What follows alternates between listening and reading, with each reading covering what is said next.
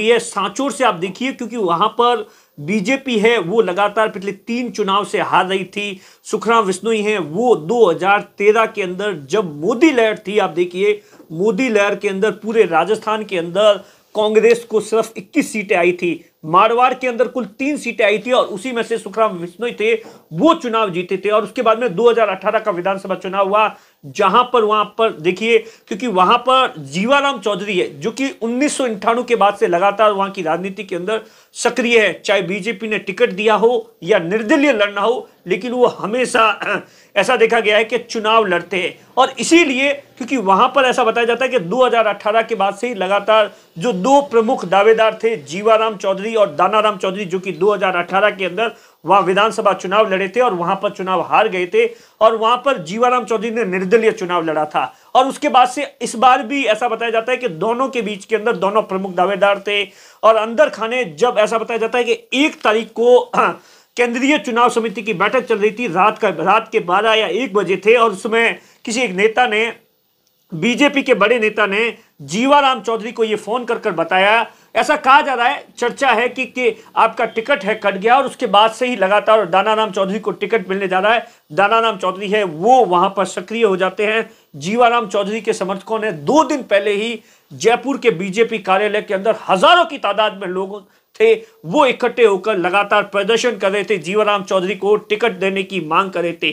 तो इन दोनों की लड़ाई के अंदर बीजेपी ने देवजी भाई पटेल को चुनावी मैदान में उतारा है। देवजी भाई पटेल कौन है? आप देखिए 2009 से वो लगातार जालोर और सिरोही की राजनीति के अंदर सक्रिय है। 2009 का लोकसभा चुनाव जीतते हैं 2014 का लोकसभा चुनाव जीतते हैं 2019 का लोकसभा चुनाव और तीनों जो चुनाव है वो भारी अंतराल से जीतते हैं। कहने वाले तो ये भी कह रहे हैं कि दानजी देवजी भाई पटेल है, वो पिछले कई महीनों से लगातार तैयारी कर रहे थे सांचौर विधानसभा सीट से। पार्टी ने उन्हें अंदर खाने इशारा दे दिया था और वो लगातार सक्रिय थे सांचौर के अंदर और उनका एक सामाजिक कार्यक्रम भी था। वहाँ पर भी ज़बरदस्त तरीके से बड़ा शक्ति प्रदर्शन किया था।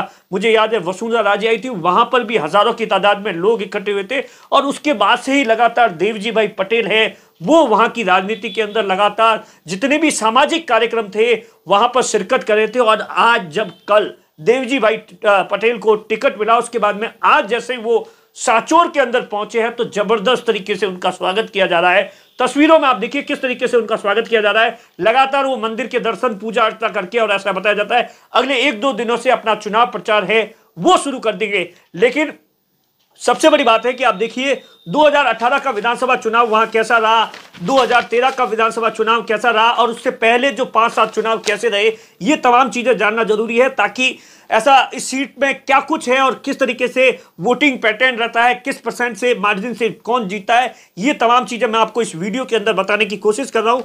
उससे पहले मैंने एक डेटा अभी सर्च कर रहा था मैंने पिछले एक, दो, तीन, चार, पाँच छः सात मतलब आठ, नौ चुनावों का विश्लेषण किया तो उसमें देखिए आप 2018 के अंदर सुखराम विष्णु जीतते हैं 2013 के अंदर सुखराम विष्णु जीतते हैं 2018 आठ के अंदर जीवाराम चौधरी जीतते हैं, बकायदा निर्दलीय थे।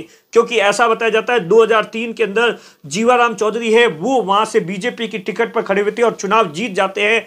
लेकिन 2008 के अंदर बीजेपी है, जीवा, जीवाराम चौधरी का टिकट है, वो काट देती है और उसके बाद में जीवाराम चौधरी है, वो निर्दलीय चुनाव लड़ते हैं तो वहाँ से चुनाव जीत जाते हैं। और उन्नीस की बात की जाए तो वहाँ से कांग्रेस के हीरालाल बिश्नोई चुनाव जीतते हैं, जो कि अभी भी कुछ यात्रा वात्रा निकाली थी और इस तरीके से। और उसके बाद में आप देखिए, हीरालाल बिश्नोई उन्नीस में भी कांग्रेस से चुनाव जीतते हैं और इससे पहले 1990 के अंदर बीजेपी चुनाव जीतती है पिचासी के अंदर। तो ज़्यादातर यहाँ पर अगर जो एनालिसिस किया जाए तो कांग्रेस ज़्यादा चुनाव जीती है कंपेयर टू बीजेपी और दो बार निर्दलीय चुनाव जीते हैं। और 2013 का विधानसभा चुनाव कैसा था? 2018 का विधानसभा चुनाव कैसा था?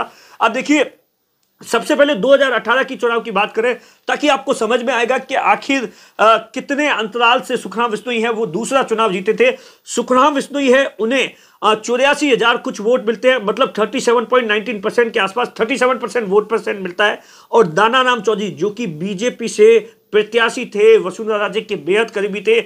ऐसा माना जाता है उस वक्त वसुंधरा राजे ने वीटो कर कर दानाराम चौधरी को चुनावी मैदान में उतारा था और जीवाराम चौधरी का टिकट है, वो कट जाता है और दानाराम चौधरी को 25 परसेंट के आसपास मतदान मत मिलते हैं। लेकिन जीवाराम चौधरी है, फिर 2018 के अंदर निर्दलीय निर्दलीय चुनाव लड़ रहे थे और उस वक्त निर्दलीय चुनाव लड़े थे। तो आप देखिए 21 मतलब तकरीबन 22 परसेंट वोट हासिल करते हैं। मतलब पचास हज़ार वोट हासिल करते हैं निर्दलीय के तौर पर। और जो बीएसपी के प्रत्याशी थे, उन्होंने भी खेल बड़ा बिगाड़ दिया। मैं देख रहा था डेटा, तकरीबन 10 परसेंट वोट है। वो बीजेपी के प्रत्याशी को वोट मिलता है। और कई आप देखिए, सुखराम विष्णु है। वो है, वहाँ से चुनाव है। वो जी जाते और 2013 के अंदर भी आप देखिए, जीवाराम चौधरी जो कि बीजेपी से चुनाव लड़ रहे थे और कांग्रेस से सुखराम विष्णु चुनाव लड़ रहे थे, जीवाराम चौधरी को तकरीबन अस्सी हज़ार वोट मिलते हैं। और वहाँ पर आप देखिए, कांग्रेस से सुखराम विष्णु है, मोदी लहर के दौरान भी आप देखिए, एक लाख तीन हज़ार से ज़्यादा वोट लाते हैं। मतलब बावन या तिरपन परसेंट वोट लाते हैं। वहीं बीजेपी है, वो 41 परसेंट मतलब 11 परसेंट के आसपास है, वो वोट बैंक लाती है। तो कुल मिलाकर आप देखिए, यहाँ की जो लड़ाई है, और जैसे ही देवजी भाई पटेल का टिकट है, वो टिकट की जो घोषणा हुई है, उसके बाद से आप देखिए, लगातार वहाँ पर तमाम तरीके के पोस्टर, सोशल मीडिया पर बहुत बड़ा कैंपेन चल रहा है कि सांचो जीवाराम चौधरी मांगे।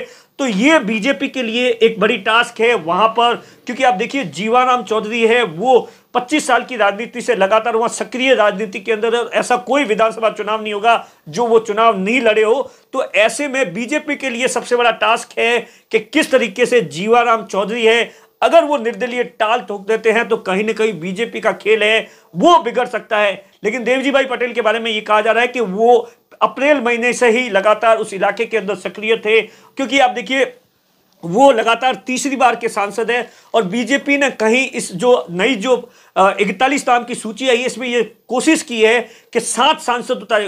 उसके पीछे की जो रणनीति है सीधे तौर पर है कि, कि एक सांसद को उतारने के पीछे उस आसपास की पाँच से सात सीटें हैं वहाँ पर उसका असर पड़े और वहाँ से बीजेपी है वो चुनावी मैदान में है वो चुनाव जीतने ऐसा बताया जाता है कि देवजी भाई पटेल है, पिछले दो महीने से लगातार कोशिश कर रहे थे कि दाना राम चौधरी और जीवाराम चौधरी है, दोनों के बीच में एक सहमति बनाई जाए।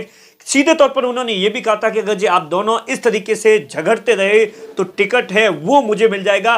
और एक महीने पर पहले ऐसा बताया जाता है, जो भास्कर की रिपोर्ट है, साचोर के आवास पर बाकायदा मीटिंग भी हुई थी और उसके बाद में अभी 21 सितंबर को दिल्ली के अंदर देवजी भाई पटेल के आवास में मीटिंग हुई थी, जहाँ पर दोनों ने इस बात को लेकर सहमति दी थी कि दोनों में से किसी को टिकट मिलेगा। इस बार हम बीजेपी को जिताएँगे, लेकिन जिस तरीके से लगातार वहाँ के सर्वे थे, उस सर्वे में साफ़ तौर पर यह कहा जा रहा था कि ज़बरदस्त तरीके से जीवाराम चौधरी और दानाराम चौधरी क्योंकि मुझे अभी भी याद है कि जब सब, आ, परिवर्तन संकल्प यात्रा चल रही थी वहाँ से एक वीडियो है सोशल मीडिया पर ज़बरदस्त तरीके से वायरल हुआ था राजेंद्र राठौड़ आए थे और वहाँ पर जो रात के समय के अंदर भीड़ उमड़ी थी उसने बताया था कि राजस्थान के अंदर और उस भीड़ को लेकर बीजेपी ने उस वीडियो को ज़बरदस्त तरीके से बताया था कि कितनी भीड़ है वो सांचोर के अंदर उमड़ी और यही भीड़ है वो बदलाव चाहती है।